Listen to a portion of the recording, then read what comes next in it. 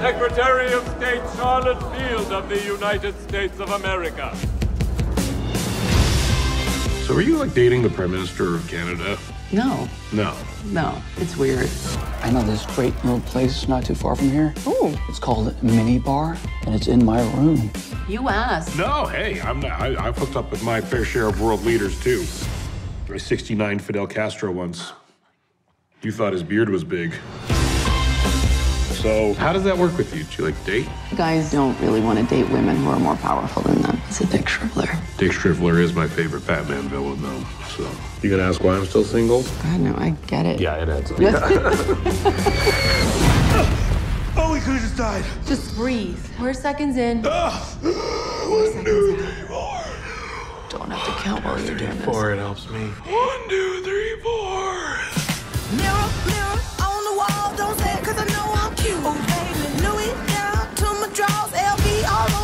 The optics of you and Fred would destroy your entire career. It's Pretty Woman, but she's Richard Gere and you're Julia Roberts. You got destiny on your side. Oh, I feel so scared. That's how I roll. If I'm. I'm gonna try to conduct myself in such a way that does not risk global humiliation. She bought me this shit. It's a traditional Swedish suit. I don't see another fucking Swede dressed like this. Calm the smurf down. Bring a fucking suit next time.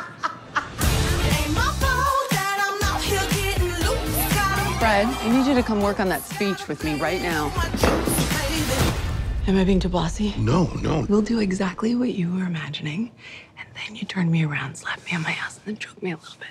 Oh my god.